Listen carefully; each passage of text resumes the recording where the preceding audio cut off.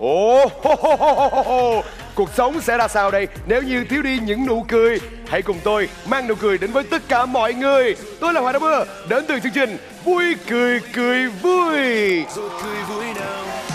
những biểu cảm hài hước cả những nỗi sợ kinh hoàng và không thể thiếu những khoảnh khắc đầy vui nhộn đáng yêu từ các đội chơi tất cả sẽ được bùng nổ trong tập 10 vui cười cười vui với sự góp mặt của nghệ sĩ Hữu Đằng, Tiết Duy Hòa, Quang Sơn, Lê Nhân, Nguyên Bảo và Tùng Anh.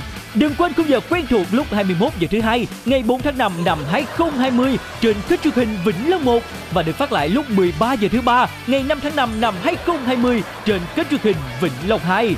Vui cười cười vui, mang nụ cười đến với mọi người.